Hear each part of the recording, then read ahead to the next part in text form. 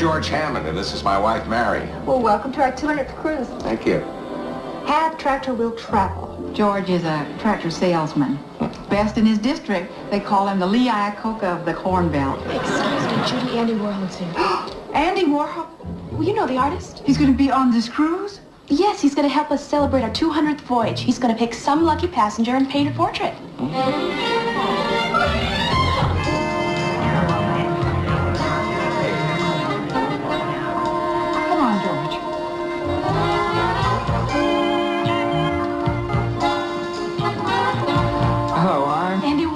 Warhol. And this is. Romaine, your executive assistant. I've read all about you. Welcome to our 200th cruise, Mr. Warhol. Uh, you and your party are on the promenade deck. I'll show you the way. I was wondering, how does an artist know when a painting is truly successful? When the check's cleared.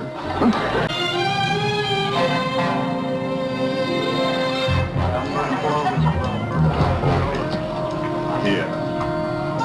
Excuse me. You are such a lovely vision. Would you mind if Andy photographed you? Oh, thank you so much. Mrs. Hammond, is that you? Is something wrong? I want to talk about it. But I just can't. Mrs. Hammond, you look so sad. If you don't talk to someone, you're going to ruin your whole cruise.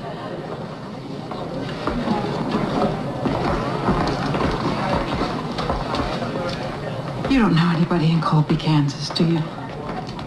We never planned to visit Colby. Or the surrounding communities of Hoxie, Selden, Sharon Springs. Mrs. Hammond, I promise the ship never goes to Kansas, ever. I don't read a word of this to anybody, especially my husband. Oh, I've just got to talk to somebody. Of course you do. I used to live in New York City. Well, we all make mistakes. Years ago, I got into my head that I could be an actress. And I took off for New York, and I was going to be somebody. And I got lucky. Andy Warhol discovered me. It was like a dream come true. I changed my name to Marina Del Rey.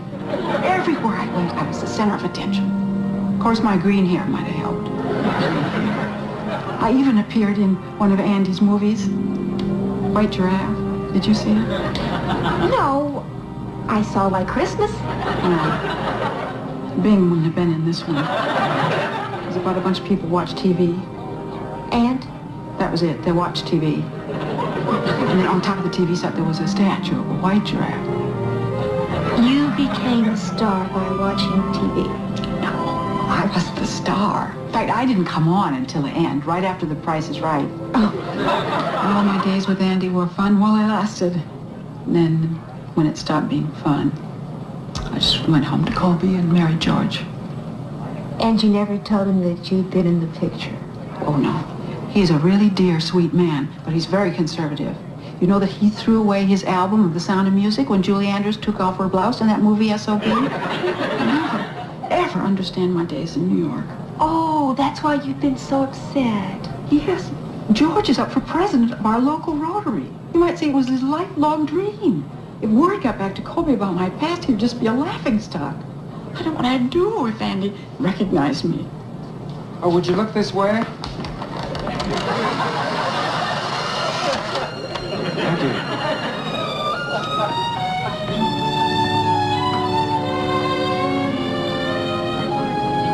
He didn't recognize me. See, you had nothing to worry about. He didn't recognize me. That's the man who dyed my hair green. He dressed me in food labels. Recognize me.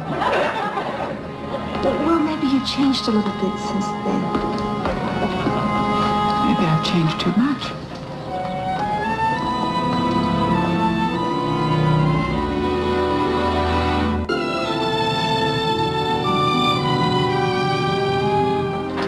Sorry I'm late. That's all right, dear.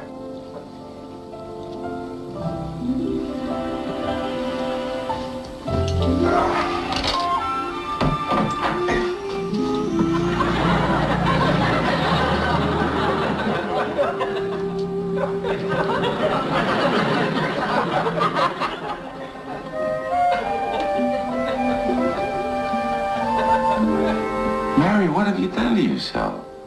Well, you know, I, I haven't changed my hair in 15 years. I, I just thought it was time for a change.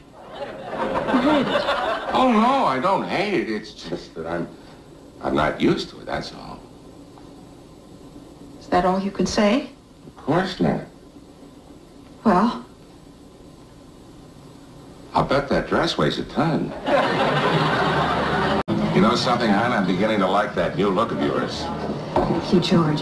You know, I've been thinking we're we're just stuck in a middle-aged, middle-class, middle American rut. What do you mean stuck? I'm about to become president of the Colby Rotary Club. A job not without its perks. We'll get to sit right up front at the pancake breakfast. We never do anything different. Oh, now wait a minute. We're doing something different right now, aren't we? I mean, we're on this cruise. That's because you wanted it to office, George. If you hadn't sold the most tractors of anybody in Colby County, we'd just have our vacation like we always do. Crappie fishing on Lake Fister. Oh, thank you. Isn't that nice? You know something, sweetheart? You're right. We are in a rut. And starting tonight, we're breaking out. After dinner, we'll go dancing, then hit the casino and take in a movie, huh? And maybe we'll stay up for the midnight buffet.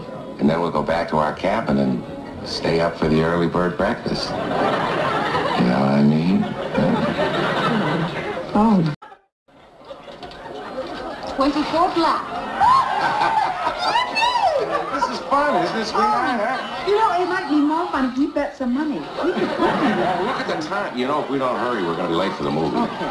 Uh, what's playing? Oh, some nature flick called White Giraffe. Uh, the same guy who made it is on this cruise. On second thought, George, I'm tired. Let's go to bed. And what about rock busting? Kicking up our heels, being wild and crazy guys. We can go back to the cabin, take a nap for two hours, and then we can be wild and crazy guys. It's only 10 o'clock. Let's go to the movie.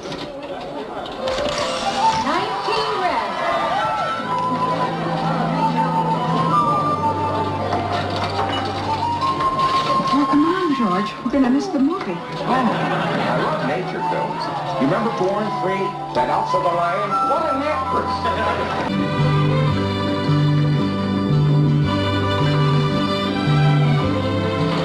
Hope you enjoy your day in Cabo San Lucas. Launches will be leaving every 15 minutes.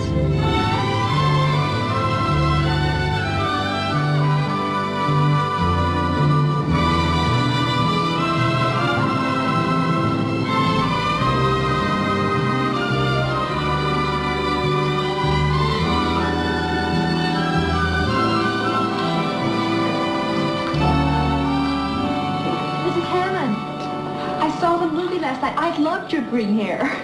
You know, the worst part was having to wear the wax lips for so long. Tell me, what did your husband say about the movie?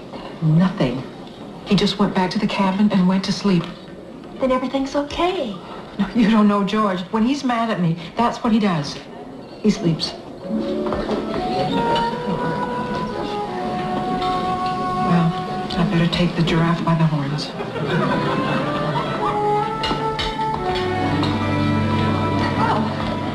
Morning, George. I didn't want to wake you. Oh, I'm sorry, I overslept. Well, that's all right. Uh, about the movie. I know it must have been a terrible shock to you. Damn right it was. I mean, here I was expecting animals. I get some Looney Tune picture about people watching TV. I didn't know what I was doing.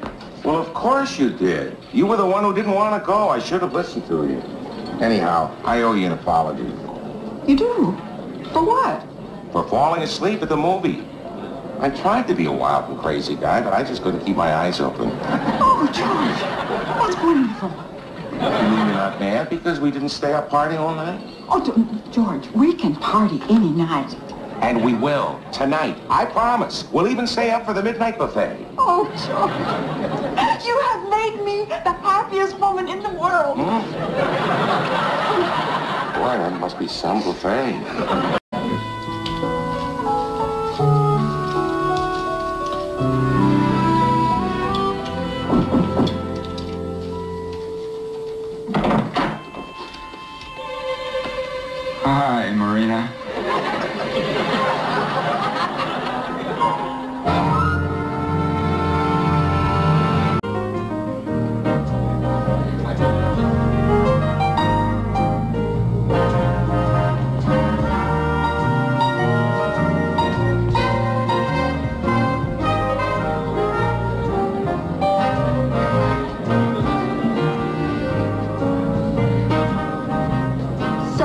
Tell George the truth about her past.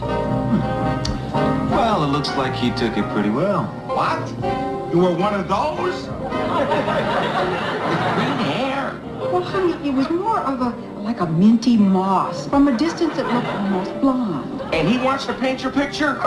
Over my dead body. Well, you know, this is a really big event. It's going to be in the paper and everything. I look on it as a real big honor. And I look on it as a disgrace. No way a wife of mine is going to have a picture painted by, by that New York flake ball. I can just imagine what the folks back home would say. And how are you going to explain this to our son, huh? Well, I'm sure Chuck will understand. Your reputation will be ruined. Don't you mean your reputation will be ruined? I was right about you, George. You're nothing but a narrow-minded stuffed short.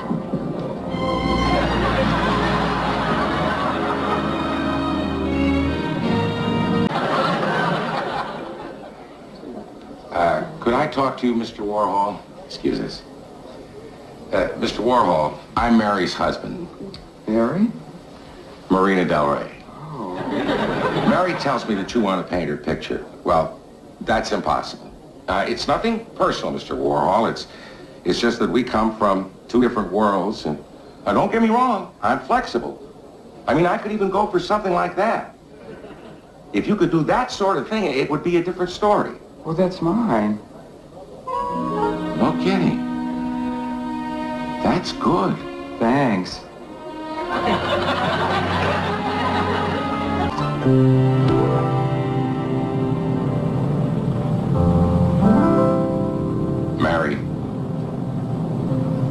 I, uh... I've been acting like a jackass. I'm sorry.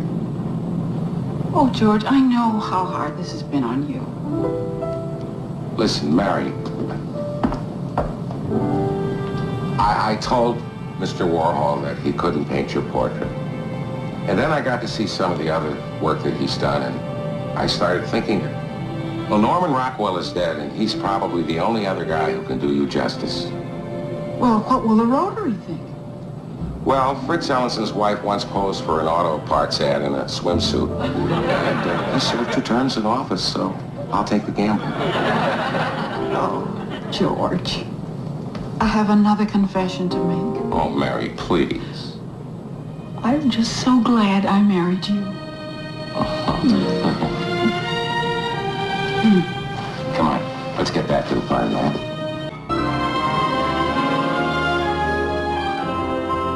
And I just want to say how honored I am that you chose my wife, Mary, to be the subject of your portrait. Maybe you two would like to get together with us here in L.A. Oh, Andy, we can't. We're not getting off the ship. We booked passage on the very next cruise. But you've already seen the sights. Hardly be worth getting out of bed. Exactly.